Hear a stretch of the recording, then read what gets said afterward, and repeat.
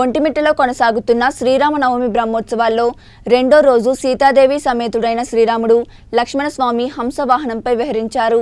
శ్రీ కోదండరాముడు తన భక్తులను ఆకాశవాహనంపై అనుగ్రహించాడు. పురాణాల ప్రకారం హంసకు నీటి నుండి పాలను వేరు చేయగల సామర్థ్యం ఉంది. ఇది దైవిక జ్ఞానమైన పరబ్రహ్మ స్వరూపం తప్ప మరొకటి కాదు. అంతకు ముందు ఉంజల్ సేవ దివ్య వైభవంగా జరిగింది. DEO doctor Ramanaprasad AEO Shri Subrahmanyam superintendent Shri P Venkateshaiah temple inspector Shri R Dhananjay తదితరులు ఈ కార్యక్రమంలో పాల్గొన్నారు.